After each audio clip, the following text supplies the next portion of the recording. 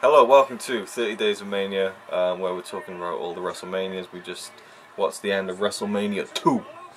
And, uh, that, We didn't watch the whole thing. No. We just watched the end. yeah, well, I said that in the first video. We're not watching Yeah, but it all yeah. the way through, but um, we're just watching the notable matches.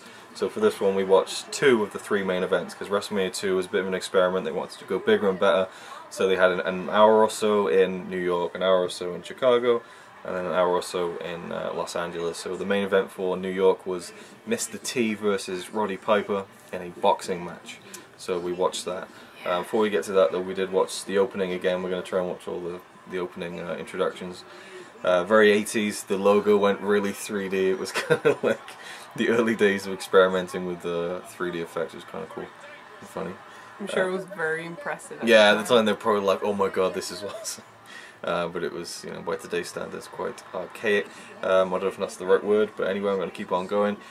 Uh, the opening uh, performance was by Ray Charles singing "America the Beautiful," so they changed it from the first WrestleMania, and they use that throughout now. They always sing "America the Beautiful." Your thoughts on Ray Charles' performance? Apart from the beginning when the mic went out a bit and the sound was a bit, Well, it's Ray Charles. Of course, it was great. yeah, it was, it was awesome. Love Ray, Ray Charles. So. You loved the end photo as well. Huh?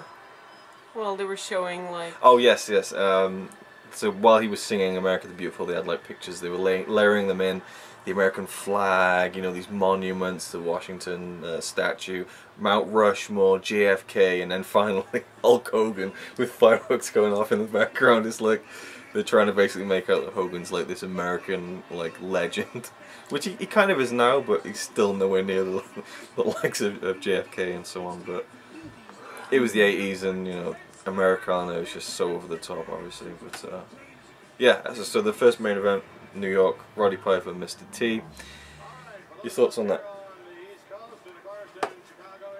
uh, you can give your thoughts first. it's, it wasn't really much of anything really and I- well, we were supposed to review wrestling, and it was Yeah. boxing. I, I I just thought I'd watch it just because it's a notable kind of um, attraction again they, they're going for this kind of entertainment uh, crossover kind of thing Roddy Piper did box in his younger years but um, it was for all intents and purposes just a uh, a little fluff match, really, just to bring in some, you know, outside viewers, I guess. Um, I listened to Piper on Austin's podcast recently, Stone Cold's podcast.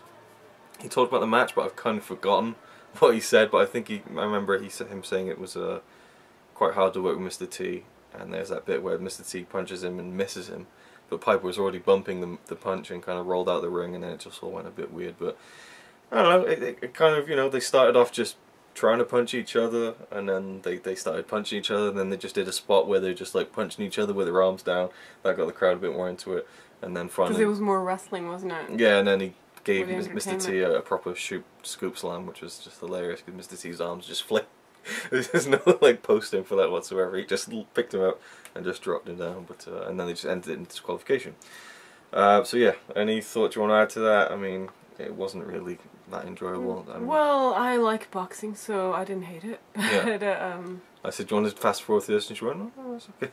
yeah, wanted to see what they got. It's more entertaining. Okay, so that was that. The the second main event was in um, Chicago, and it was a 20 man battle royal. We didn't watch that one, but we did see some of the people coming in as I was forward forwarding through it, and um, I have to get you to reenact your uh, comment when you saw Bruno Sammartino. Al Bundy. Looks like Al Bundy. He did look like Al Bundy. Now that Oh. song is stuck in my head again. That's a little, what song? Love and Marriage. Love and marriage, yeah. Go together like a horse and carriage. The main event of the uh, new, the uh, Los Angeles uh, section, the the last bit, the true main event was um, King Kong Bundy versus Hulk Hogan for the WWF Bundy.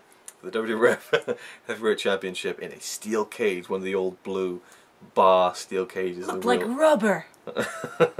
Not that. Can you skip that one out? Why? Nothing. Why? No, what? No, go on. Follow it through. What? What? What? Is there more meaning to that joke, or No, it wasn't meant to be, but people might think that there was. okay? I'm just gonna leave this in. You know. No, it looked like plastic. There you go. It's the same as saying it looked like rubber. I don't, you know, it's not a bad joke. It's you know, on the same level as it looked like rubber. at least what you just said it, was nowhere near the levels of Elvira, who was doing the guest commentary for the match. I don't even know who Elvira is. Oh my Um, god, they're taking more clothes off as Bundy is taking off the bandage around Hulk Hogan's rib cage because he is hurt. Yeah, And they're just like, oh no, he's just taking the belt off. yeah. I mean, just now I know why they're called the Avalanche. It's funny, when she said something really stupid, the other commentators didn't even say anything about it. They just let it The, the other commentators were Jesse Ventura and Lord Alfred Hayes, who's one of my, my favourite commentators from the 80s, proper just British, old school, and I just love his commentary. But then Elvira was there also, so it kind of ruined it. Anyway, the match itself, I enjoyed it. I've seen it once before. It's, I quite like it, you know, just the beginning, Hogan's just taking it to Bundy and he's proper, like, really hitting him hard. They had some back and forth. They didn't let it go on too long. It's about 10 minutes long, the match. Uh, Bundy did a cool blade job, you know, they had a, you know, a bit of back and forth. Hulk hulked up, hit the leg drop, hit a big scoop slam, and then out of the cage he climbed. Oh, the cage is gonna fall down. no, the cage is not gonna fall Another down. Another stupid Elvira comment. And then right at the end, um, uh, Bobby Heenan, Bobby the Brain, who was uh, managing King Kong Bundy at the time, got uh, pulled into the cage by Hogan, and Hogan just launched him into the cage, and he proper just dove himself into the into the cage, and then he hit a massive atomic drop, and Heenan just like jumped out of the through the ropes and out of the cage, uh, which is kind of funny. Probably the most entertaining part of the match.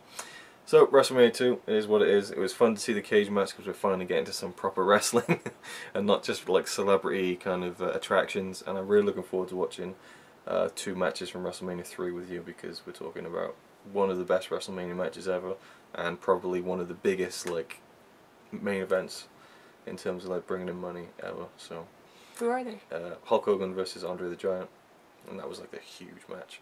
And then um, Ricky Steamboat against Randy Savage, two of the best wrestlers, just having a classic wrestling match. Have I seen that one before? Nope. Okay. Yeah. So uh, yeah, that's WrestleMania two. Um, you know, uh, it is what it is. Nothing too awesome, but uh, you know, we've we've seen a bit more of WrestleMania's history Hulkamania. And Hulkamania's history.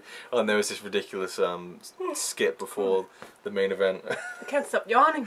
There's this ridiculous skip, before, well not a skip, but a segment before the main event where um, Hogan's got his, his uh, rib cage taped up, and they showed that um, Bundy was hit his big splash on him at uh, I think Saturday Saturday night's main event and hurt his ribs. That was the angle in the match. They wanted Hogan to seem like the biggest, like strongest oh yeah. superhero guy ever because you know oh he's got his his, in, his ribs are injured, his back's injured, he might have a herniated disc, he shouldn't be going out there. But I'm gonna do it for the Hulkamaniacs, brother. They want to see me defend. them." and he's He's got doing chin chin ups through chin ups No, with, not a, really, with like though. a weight round his neck. And, halfway up. yeah, he wasn't really pulling himself all the way up. So uh, Mean Gene was just kind of interviewing him as he was doing these weights. Like, I'm gonna do it, brother. just like, Doing deadlifts. so ridiculous, um, but hilarious at the same time. So Yeah. there you go, WrestleMania 2. Thanks for watching.